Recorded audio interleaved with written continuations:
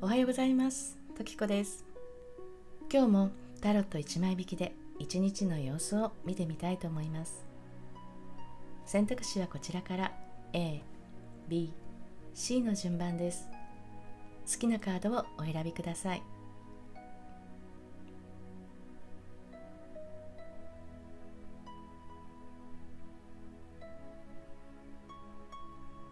それでは A のカードから順番に見てまいりましょう。A のカードです。ワンドのクイーン逆位置が出てきました。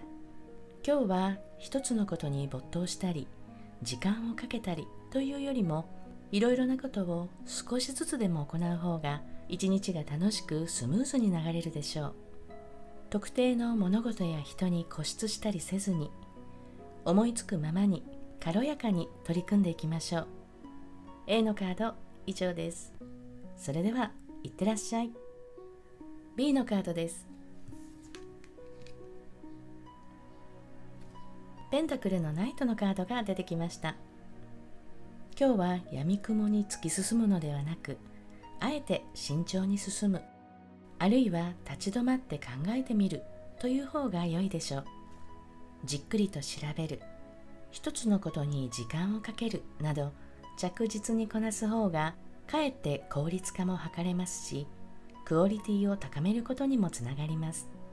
丁寧に着実に物事や人と関わってみてください。B のカード以上です。それではいってらっしゃい。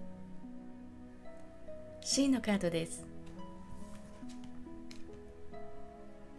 皇帝のカードが出てきました。今日は以前から腰を据えてやりたかったことをするのに最適な一日です。知りたい情報を探す集める調べるあるいは行きたかった場所へ行ってみるなど今の自分ができる範囲でも構いません。積極的に行動してみてください。それがこの先の現実を変えていく何かにつながっていきます。C のカード以上です。それではいってらっしゃい。